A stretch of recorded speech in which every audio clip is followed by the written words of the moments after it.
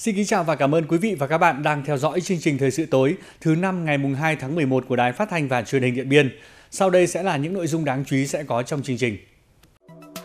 Từ ngày 15 tháng 12 năm 2022 đến ngày 14 tháng 10 năm 2023, toàn tỉnh đã xảy ra 8 vụ tai nạn giao thông liên quan đến học sinh, làm tử vong 6 em, bị thương 7 em. Trong đó có một vụ rất nghiêm trọng làm tử vong 2 học sinh. So với cùng kỳ năm 2022 đã tăng 6 vụ, 4 người chết và 7 người bị thương. Thông tin tại hội nghị trực tuyến chuyên đề về đảm bảo an toàn giao thông đối với học sinh. Ủy ban nhân dân tỉnh tổ chức hội nghị tham gia ý kiến dự thảo nghị quyết của Hội đồng nhân dân tỉnh về ban hành quy định chính sách hỗ trợ phát triển sản xuất nông lâm nghiệp gắn với xây dựng nông thôn mới trên địa bàn tỉnh. Ủy ban nhân dân tỉnh tổ chức lễ công bố quyết định và trao giấy chứng nhận cho hai di sản được công nhận đưa vào danh mục di sản văn hóa phi vật thể cấp quốc gia, gồm tập quán xã hội và tín ngưỡng lễ cúng dòng họ của người Mông Trắng và nghệ thuật trình diễn dân gian múa của người Lào tỉnh Điện Biên.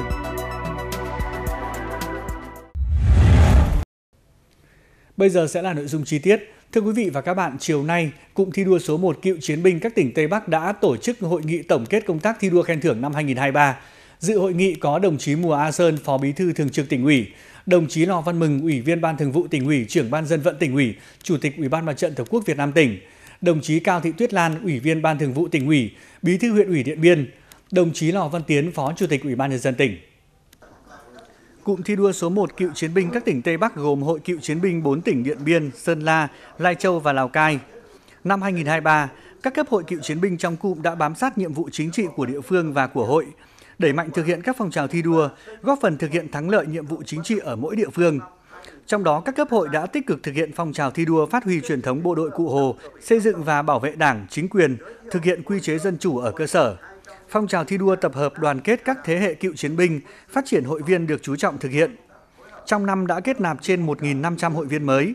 Phong trào thi đua giúp nhau phát triển kinh tế xóa đói giảm nghèo, nâng cao đời sống cho hội viên đạt được nhiều kết quả tích cực. Toàn cụm có gần 5.000 doanh nghiệp, hợp tác xã, trang trại, gia trại do cựu chiến binh làm chủ. Với những thành tích đạt được, năm 2023, toàn cụm đã được Ban chấp hành Trung ương Hội Cựu chiến binh Việt Nam tặng 20 bằng khen, Ủy ban nhân dân các tỉnh tặng 12 bằng khen trong thực hiện nhiệm vụ và các phong trào thi đua. Phát biểu tại hội nghị, đồng chí Mùa A Sơn, Phó Bí thư Thường trực tỉnh ủy mong muốn Hội Cựu chiến binh các tỉnh trong cụm thi đua tiếp tục phát huy những kết quả đạt được, kịp thời khắc phục những tồn tại hạn chế và bổ sung thêm các nội dung hoạt động cùng với Hội Cựu chiến binh cả nước có các hoạt động thiết thực hướng về Điện Biên Phủ anh hùng nhân dịp kỷ niệm 70 năm chiến thắng Điện Biên Phủ tiếp tục phối hợp chặt chẽ hơn trong việc đẩy mạnh các phong trào thi đua yêu nước, góp phần xây dựng tổ chức hội cựu chiến binh ngày càng phát triển. Đồng thời, luôn chủ động trong công tác tham mưu cho cấp ủy chính quyền địa phương, lãnh đạo chỉ đạo, phát huy hiệu quả vai trò của tổ chức hội tham gia xây dựng bảo vệ Đảng, chính quyền, tích cực tham gia phát triển kinh tế xã hội, giảm nghèo bền vững, chăm lo bảo vệ quyền và lợi ích hợp pháp của hội viên cựu chiến binh. Tại hội nghị cũng đã thông qua nội dung và tổ chức ký kết giao ước thi đua năm 2024, suy tôn Hội cựu chiến binh tỉnh Sơn La làm cụm trưởng năm 2024. Chiều nay, đồng chí Trần Lưu Quang, Phó Thủ tướng Chính phủ, Chủ tịch Ủy ban An toàn Giao thông Quốc gia chủ trì hội nghị trực tuyến chuyên đề về đảm bảo an toàn giao thông đối với học sinh. Hội nghị được kết nối đến 63 điểm cầu các tỉnh, thành phố trên cả nước và các điểm cầu cấp huyện, cấp xã. Dự hội nghị tại điểm cầu tỉnh Điện Biên có đồng chí Phạm Đức Toàn, Ủy viên Ban Thường vụ tỉnh ủy, Phó Chủ tịch Thường trực Ủy ban nhân dân tỉnh, lãnh đạo các sở ban ngành đoàn thể tỉnh có liên quan, đại diện lãnh đạo Ủy ban nhân dân tại điểm cầu 10 huyện, thị xã, thành phố và các điểm cầu cấp xã. Theo báo cáo của Bộ Công an, từ ngày 15 tháng 12 năm 2022 đến ngày 14 tháng 10 năm 2023, tai nạn giao thông liên quan đến học sinh xảy ra hơn 880 vụ, chiếm gần 9% số vụ tai nạn giao thông toàn quốc, làm chết 490 người, bị thương 827 người.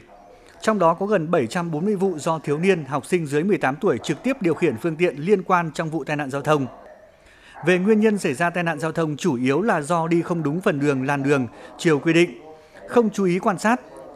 Về công tác tuần tra kiểm soát xử lý các hành vi vi phạm trật tự an toàn giao thông, 10 tháng năm 2023, lực lượng cảnh sát giao thông toàn quốc đã phát hiện xử lý hơn 64.400 trường hợp học sinh vi phạm trật tự an toàn giao thông, tạm giữ trên 61.000 xe mô tô. Trong đó, chưa đủ tuổi điều khiển xe mô tô, xe gắn máy chiếm gần 48%. Tại tỉnh Điện Biên, từ ngày 15 tháng 12 năm 2022 đến ngày 14 tháng 10 năm 2023, tai nạn giao thông liên quan đến học sinh xảy ra 8 vụ, làm tử vong 6 em, bị thương 7 em. Trong đó có một vụ tai nạn giao thông rất nghiêm trọng làm tử vong hai em. So với cùng kỳ năm 2022 đã tăng 6 vụ, 4 người chết và 7 người bị thương. Thời gian qua, Ban An toàn giao thông tỉnh đã có nhiều chỉ đạo quyết liệt nhằm ổn định tình hình trật tự an toàn giao thông trên địa bàn tỉnh. Trong đó tổ chức tuyên truyền tại 100% trường học, cơ sở giáo dục trên địa bàn tỉnh với hơn 200.000 học sinh, giáo viên tham gia.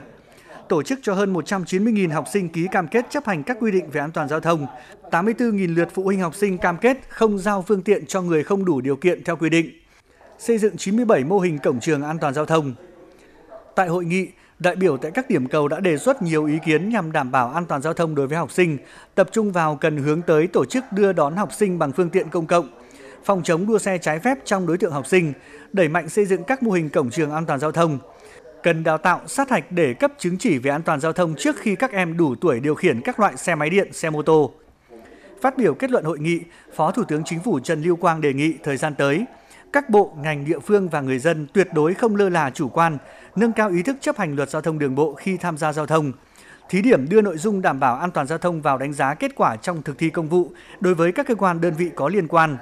Tiếp tục đổi mới về nội dung, hình thức tuyên truyền, phổ biến pháp luật về giao thông, ứng dụng mạng xã hội để học sinh dễ nhớ, dễ hiểu, dễ thực hiện. Tăng cường công tác tuần tra kiểm soát, kịp thời phát hiện, ngăn chặn, xử lý đối với các trường hợp học sinh vi phạm trật tự an toàn giao thông, nâng cao hiệu quả phối hợp giữa lực lượng chức năng, nhà trường, gia đình trong quản lý và giáo dục học sinh, nghiêm chỉnh chấp hành quy định pháp luật về trật tự an toàn giao thông.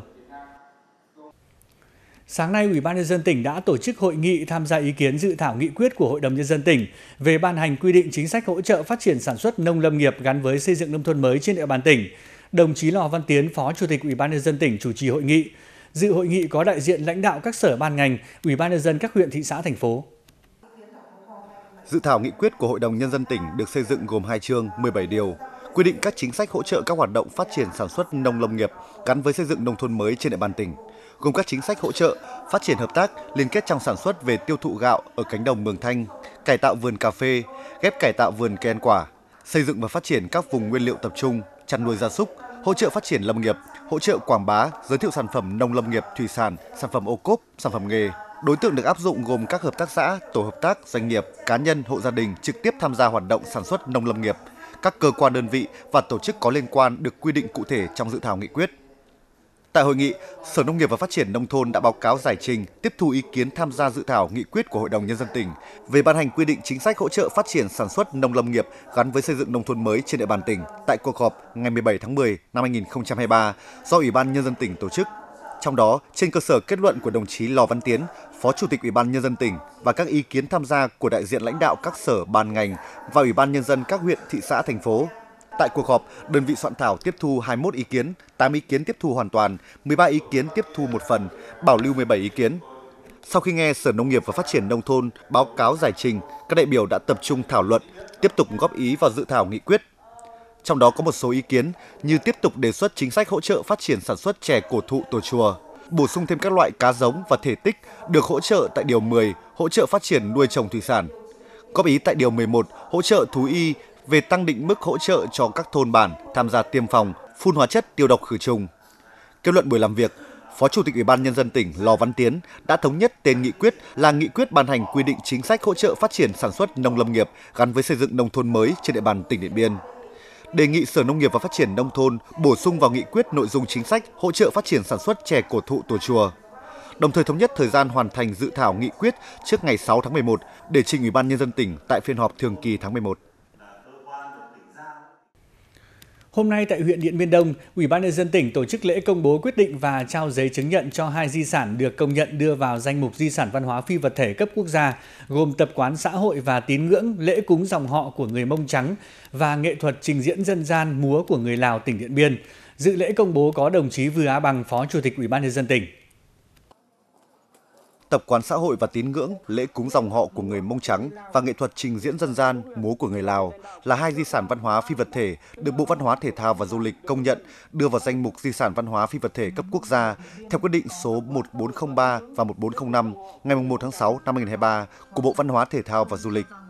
Việc hai di sản này được công nhận không chỉ là niềm tự hào của đồng bào dân tộc Mông, dân tộc Lào, mà còn là sự ghi nhận và động viên xứng đáng của các cấp các ngành đối với di sản và những chủ thể nắm giữ di sản đồng thời cũng trở thành tiền đề, động lực quan trọng để các địa phương trong tỉnh có người Mông Trắng và người Lào sinh sống tiếp tục nỗ lực thực hiện tốt hơn công tác giữ gìn và phát huy di sản văn hóa của mình. Phát biểu tại buổi lễ, đồng chí Vừa A Bằng, Phó Chủ tịch Ủy ban Nhân dân tỉnh nhấn mạnh, tập quán xã hội và tín ngưỡng, lễ cúng dòng họ của người Mông Trắng và nghệ thuật trình diễn dân gian, múa của người Lào, tỉnh Điện Biên được đưa vào danh mục di sản văn hóa phi vật thể quốc gia, nâng tổng số di sản văn hóa phi vật thể quốc gia trên địa bàn tỉnh lên 18 di sản. Đây là kết quả rất đáng trân trọng và tự hào đối với Đảng bộ, chính quyền và nhân dân các dân tộc tỉnh Điện Biên, tạo động lực để tiếp tục bảo vệ, lan tỏa và phát huy mạnh mẽ giá trị di sản văn hóa phi vật thể. Đồng chí Phó Chủ tịch Ủy ban nhân dân tỉnh đề nghị các cấp các ngành cần tiếp tục thực hiện tốt công tác tuyên truyền, quảng bá các giá trị của di sản văn hóa phi vật thể, tạo điều kiện khuyến khích, động viên nghệ nhân, người thực hành và cộng đồng dân cư tích cực tham gia vào các hoạt động bảo vệ, phát huy giá trị di sản văn hóa phi vật thể, khuyến khích các gia đình, dòng họ, trong đó có dân tộc Mông và dân tộc Lào, tăng cường truyền dạy lễ cúng dòng họ và nghệ thuật múa cho thế hệ trẻ đồng thời tiếp tục lựa chọn các cá nhân tiêu biểu có nhiều công sức đóng góp trong việc bảo vệ, giữ gìn, phát huy giá trị các di sản văn hóa phi vật thể để đề nghị xét tặng các danh hiệu theo đúng giá trị của di sản. Theo thông tin từ Tổng Công ty Hàng không Việt Nam, sau 7 tháng đóng cửa để nâng cấp mở rộng, sân bay Điện Biên chính thức khai thác các chuyến bay từ ngày 2 tháng 12 năm 2023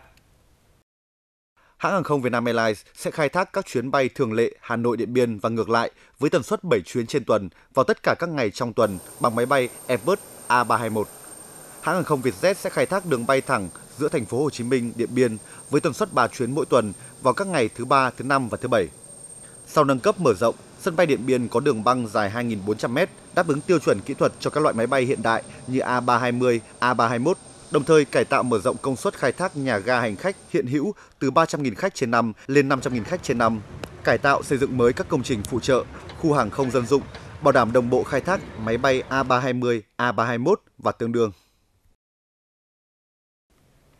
Chiều nay tại trụ sở Ngân hàng Nhà nước Việt Nam chi nhánh tỉnh Điện Biên, Ngân hàng Nhà nước Việt Nam chi nhánh tỉnh Điện Biên và Hội Liên hiệp Phụ nữ tỉnh đã tổ chức lễ ký kết chương trình phối hợp giai đoạn 2023-2027. Theo chương trình phối hợp giai đoạn 2023-2027, Ngân hàng Nhà nước Việt Nam chi nhánh tỉnh Điện Biên và Hội Liên hiệp Phụ nữ tỉnh sẽ phối hợp triển khai hiệu quả những nội dung cụ thể như phối hợp triển khai hiệu quả việc thực hiện chính sách pháp luật đối với hoạt động tín dụng chính sách xã hội, tín dụng phục vụ phát triển nông nghiệp nông thôn và các loại hình tín dụng khác.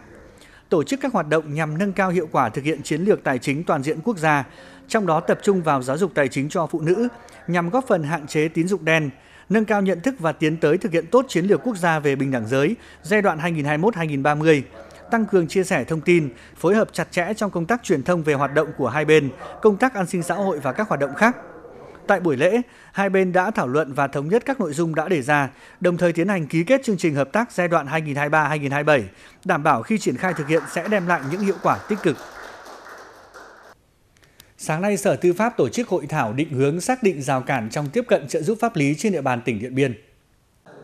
Từ năm 2018 đến hết tháng 9 2023, Trung tâm trợ giúp pháp lý nhà nước tỉnh Điện Biên đã thực hiện trên 5.000 vụ việc. Số lượng vụ việc được trợ giúp pháp lý ngày càng tăng cao, chất lượng được nâng lên đáng kể, góp phần bảo vệ quyền và lợi ích hợp pháp của người nghèo và nhóm yếu thế trong xã hội công tác trợ giúp pháp lý đã khẳng định được vị trí vai trò trong đời sống xã hội cũng như góp phần quan trọng trong phát triển kinh tế xã hội tại địa phương. Tại hội thảo, các đại biểu đã nghe các tham luận từ góc nhìn của cơ quan quản lý trợ giúp pháp lý, cơ quan trực tiếp thực hiện trợ giúp pháp lý, tổ chức chính trị xã hội phối hợp trong hoạt động này như thực tiễn thực hiện trợ giúp pháp lý cho người thuộc hộ nghèo và nhóm đối tượng dễ bị tổn thương ở tỉnh Điện Biên thuận lợi khó khăn của người dân khi tiếp cận dịch vụ trợ giúp pháp lý, thực trạng và các giải pháp tăng cường tiếp cận trợ giúp pháp lý cho người nghèo và nhóm đối tượng yếu thế qua thực tiễn hoạt động của tòa án. Trách nhiệm phối hợp tăng cường khả năng tiếp cận trợ giúp pháp lý của chính quyền cơ sở. Qua đó, có cơ sở đề xuất kiến nghị các giải pháp nhằm giúp người dân dễ dàng hơn trong việc tiếp cận với trợ giúp pháp lý. Cũng trong sáng nay tại hội trường Trường Cao đẳng Sư phạm Điện Biên, Sở Khoa học và Công nghệ đã tổ chức hội nghị tập huấn phổ biến kiến thức về sáng kiến trên địa bàn tỉnh. Tham gia hội nghị tập huấn có trên 50 cán bộ, công chức, viên chức, các sở ngành, ủy ban nhân dân các huyện, thị, thành phố. Các học viên đã được phổ biến nội dung cơ bản của Nghị định số 13-2012 của Chính phủ ban hành điều lệ sáng kiến, Thông tư số 18-2013 của Bộ Khoa học và Công nghệ, hướng dẫn thi hành một số quy định của điều lệ sáng kiến được ban hành theo nghị định của Chính phủ đồng thời được thông qua những đối tượng cũng như các điều kiện để được công nhận là sáng kiến, các cơ sở, trình tự xét công nhận sáng kiến. Hội nghị là dịp để cán bộ, công chức, viên chức trên địa bàn tỉnh nắm bắt hệ thống pháp luật về sáng kiến, củng cố nâng cao năng lực trong công tác tham mưu, xét công nhận sáng kiến cũng như có những vận dụng cụ thể trong thực tiễn. Từ đó góp phần thúc đẩy hoạt động sáng kiến ở các cơ quan đơn vị địa phương đang công tác.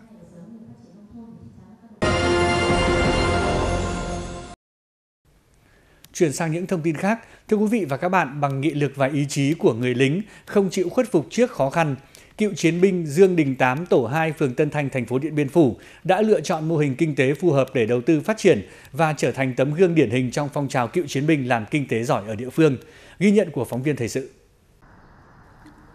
Năm 1995, sau khi xuất ngũ trở về địa phương, cựu chiến binh Dương Đình Tám, tổ 2, phường Tân Thanh, thành phố Điện Biên Phủ bắt đầu lập thân lập nghiệp.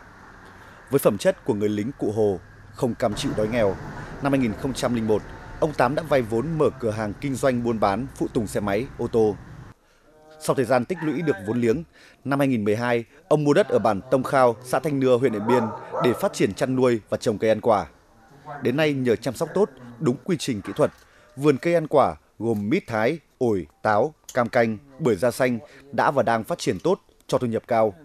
Ngoài ra để tăng thu nhập và tận dụng diện tích đất, dưới tán cây ăn quả, ông đã trồng sen canh, cây sa nhân. Ờ, để làm cái mô hình này là mình cũng chưa có ý tưởng. Và nếu mình đi thì đi vào mình thấy là khu vực này là đất nó bằng phẳng ờ, bà con mà bỏ hoang hóa nhiều. Thế cho nên mình phải sinh ra cái ý tưởng để để để làm cái mô hình trồng cây ăn quả. Thì lúc đó thì là cũng mua, vào mua gom cũng được đâu đó khoảng sáu nghìn, bảy nghìn mét. Thì lúc đó trồng trồng xong thì thì cây thấy phát triển tốt và cũng cho trái các thứ. Từ đó mình mới ý tưởng mở rộng ra thì mới mua thêm. Thì cho đến nay thì cái diện tích nó cũng tăng lên khoảng đâu đó khoảng trên dưới 3 hecta cái ăn quả thì nói chung là cũng ừ, đem lại cái thu nhập cho gia đình, rồi cũng tạo công an việc làm cho một số như là uh, con em trên địa bàn địa phương Nhờ vận dụng tốt mô hình phát triển kinh tế, đến nay sau khi trừ chi phí gia đình, ông thu từ 800 triệu đến 1 tỷ đồng trên năm. Với nguồn thu nhập trên, ông Tám đã xây dựng được cơ ngơi vững chắc, nuôi dạy con cái trưởng thành. Thời gian tới thì thực ra thì cũng cũng đang có cái suy nghĩ để mà làm thế nào để khi nên chuyển sang cái mô hình mà mình vừa làm xong mình vừa thu gom để chế biến ra cái sản phẩm để mà sao đóng gói nó bảo quản được lâu đến khi mà cái cái cái thời vụ mà à, sau khi cái thời vụ đấy thì mình đưa ra thị trường thì nó có lẽ nó cái hiệu quả hơn. Không chỉ là tấm gương điển hình về làm kinh tế giỏi, cựu chiến binh Dương Đình Tám còn tham gia nhiệt tình vào các hoạt động công tác hội tại địa phương. Cùng với đó, ông luôn sẵn sàng chia sẻ kinh nghiệm, giúp đỡ những hội viên có nhu cầu phát triển kinh tế để nâng cao đời sống, giảm nghèo, vươn lên ổn định cuộc sống. Riêng đối đồng chí Tám thì nói là đồng chí vừa là chi hội phó nằm trong ban chấp hành cựu chiến binh của phường, cũng là một chúng tôi xác định là một doanh nhân của cựu chiến binh còn trẻ, năng động và sáng tạo.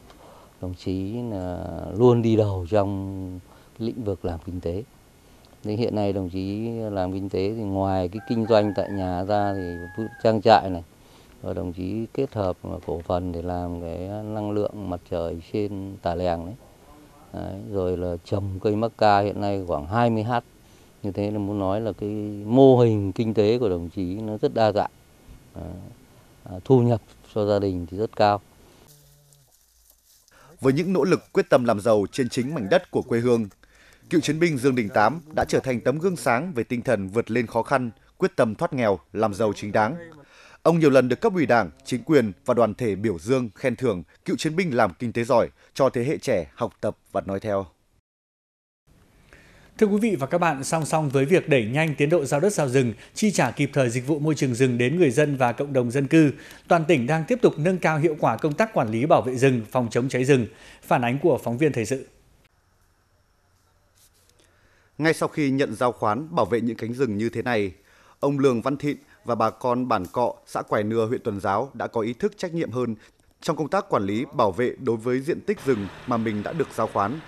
coi đó như là tài sản chung của cộng đồng thôn bản để cùng chăm sóc bảo vệ, nhất là đã thường xuyên tiến hành kiểm tra, phát dọn, không để cháy rừng xảy ra. Cái thứ nhất thì cũng à, à, nói về được à, hưởng được tiền môi trường rừng đã mặt thứ hai nữa thì có thể là được hưởng gọi là cái nguồn nước. Đấy, tiếp theo nữa là ờ, được ờ, hít thở không khí trong lành. Từ chỗ đó thì trách nhiệm của người dân và cá nhân của tôi đấy thì nên là cái nói về cái cái việc tuyên truyền thì thực sự là tôi rất là à, nhiệt tình với với với công việc của mình. Theo thống kê của hạt kiểm lâm huyện Tuần Giáo, hiện toàn huyện có hơn 42.800 hecta rừng. Trong đó, diện tích rừng tự nhiên có trên 41.800 hecta, rừng trồng là hơn 926 hecta, độ che phủ rừng đạt 38%. Đặc biệt trong vài năm trở lại đây, tình trạng chặt phá rừng, đốt nương gây cháy rừng đã giảm đi rất nhiều. Có được điều đó, lực lượng kiểm lâm huyện đã phát huy tốt vai trò của mình, chủ động phối hợp với Ủy ban Nhân dân các xã, thị trấn, các chủ rừng trong việc ký cam kết và xây dựng các phương án về phòng chống cháy rừng và bảo vệ rừng, quy rõ trách nhiệm cho người đứng đầu và các chủ rừng khi để xảy ra cháy rừng trên địa bàn, cũng như những diện tích rừng đã được giao khoán. Đối với lại các xã, thị trấn ờ, hiện nay thì à, đã được triển khai đến tận thôn, bản. Hạt kiểm lâm đã yêu cầu công chức kiểm lâm địa bàn tuyên truyền đề cao công tác phòng cháy chữa cháy rừng, nhất là công tác à, phòng là chính đối với lại cái việc phòng cháy chữa cháy à, trong vào mùa khô. Tại huyện Điện Biên, công tác quản lý, bảo vệ và phòng chống cháy rừng cũng đã được cấp ủy chính quyền và ngành chức năng triển khai thực hiện khá hiệu quả. Đối với hạt kiểm lâm huyện là cơ quan tham mưu, do đó ngay từ khi bước vào đầu vụ khô hành, hạt kiểm lâm đã triển khai và giao nhiệm vụ cụ thể cho các tổ đội cá nhân kiểm lâm phụ trách địa bàn thực hiện tốt các kế hoạch, nhiệm vụ công tác, đảm bảo không để những vụ việc cháy rừng xảy ra. Cụ thể trong 9 tháng đầu năm 2023, trên địa bàn huyện chưa để xảy ra những vụ cháy rừng nghiêm trọng nào. Để mà nâng cao hơn nữa cái công tác ờ, phòng cháy chữa cháy rừng trên địa bàn ờ, các xã thì hạt cũng chỉ đạo kiểm lâm địa bàn tích cực tham mưu cho ủy ban nhân dân các xã ờ, thực hiện tốt công tác tuyên truyền ở trên địa bàn các thôn bản và thành lập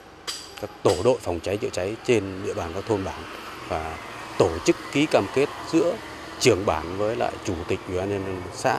và tổ chức ký cam kết giữa các hộ dân với lại trưởng bản. Và ngoài ra là ờ, thường xuyên là tuần tra nhằm phát hiện các ừ, vị trí ờ, xảy ra tình trạng phá rừng và cũng như là có những điểm nóng về hay xảy ra cháy rừng thì thường xuyên tuần tra và nhằm phát hiện kịp thời. Với sự vào cuộc quyết liệt của các cấp các ngành, đặc biệt từ khi người dân được hưởng dịch vụ môi trường rừng cũng như được giao đất, giao rừng để quản lý, bảo vệ. Từ đó, tình trạng chặt phá rừng, cháy rừng ở các địa phương trong tỉnh đã giảm đi đáng kể. Người dân, cộng đồng dân cư có trách nhiệm hơn trong công tác quản lý, bảo vệ và phòng chống cháy rừng đã được nâng lên.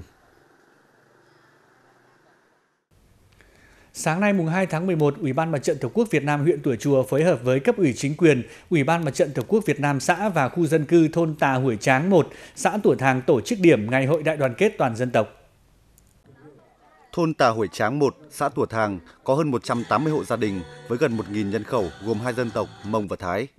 Nêu cao tinh thần đoàn kết, nỗ lực phấn đấu thực hiện có hiệu quả phong trào toàn dân đoàn kết xây dựng đời sống văn hóa ở khu dân cư và các phong trào thi đua yêu nước, các cuộc vận động năm 2023. Đến nay thôn đã hoàn thành 6 trên 12 tiêu chí thôn bản nông thôn mới.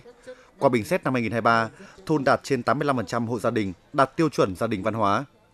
Tại ngày hội, Ủy ban nhân dân xã Tủa Thàng đã trao tặng giấy khen cho 20 hộ và 8 cá nhân có thành tích trong phong trào xây dựng khối đại đoàn kết toàn dân tộc của thôn, tổ chức cho các hộ trong thôn ký cam kết thực hiện các phong trào thi đua yêu nước, các cuộc vận động trong năm tiếp theo. Kết thúc phần lễ, đại biểu và nhân dân thôn Tà Hồi Tráng 1 đã cùng tham gia chơi các trò chơi dân gian, thi đấu các môn thể thao truyền thống của dân tộc, tăng cường tình đoàn kết giữa các dân tộc trong thôn. Sau khi tổ chức ngày hội điểm này, cấp ủy chính quyền Ủy ban Mặt trận Tổ quốc các xã thị trấn trên địa bàn huyện Tổ Chùa sẽ chỉ đạo các khu dân cư đồng loạt tổ chức ngày hội đại đoàn kết các dân tộc. Cũng trong ngày hôm nay, Ủy ban Mặt trận Tổ quốc Việt Nam huyện Nậm Pồ cũng đã tổ chức điểm ngày hội đại đoàn kết toàn dân tộc ở khu dân cư năm 2023 tại bản Pa Tần, xã Pa Tần. Ngày hội đại đoàn kết toàn dân tộc ở bản Pa Tần, xã Pa Tần gồm hai phần, phần lễ và phần hội, phát huy truyền thống vẻ vang của mặt trận thống nhất dân tộc Việt Nam. 93 năm qua, nhân dân bản Pa Tần đã đoàn kết thực hiện tốt các nội dung của cuộc vận động toàn dân đoàn kết xây dựng nông thôn mới, đô thị văn minh. Hiện nay bản có trên 95% hộ gia đình khá giàu, 95 hộ gia đình đạt danh hiệu văn hóa, 5 gia đình đạt danh hiệu gia đình văn hóa 5 năm liên tục. Sau phần lễ là các hoạt động văn hóa, văn nghệ, trò chơi dân gian truyền thống của địa phương mang đậm đà bản sắc dân tộc. Ngày hội đại đoàn kết toàn dân tộc đã góp phần củng cố, tăng cường sự đoàn kết, gắn bó mật thiết giữa cấp ủy, chính quyền với nhân dân.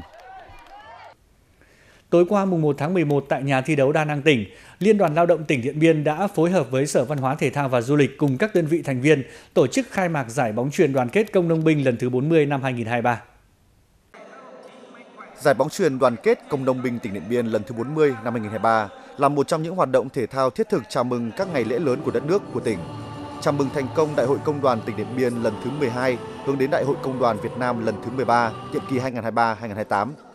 Tham dự giải bóng truyền đoàn kết công đồng binh tỉnh Điện Biên lần này có 12 đội bóng với hơn 150 vận động viên đến từ các đơn vị, huyện, thị xã, thành phố trong tỉnh. Đến với giải đấu, các đội bóng sẽ tham gia thi đấu 3 nội dung gồm đội nam khối các sở ban ngành và lực lượng vũ trang, đội nam khối nông thôn, huyện, thị xã, thành phố và đội nữ khối các sở ngành, các huyện, thị xã, thành phố và lực lượng vũ trang.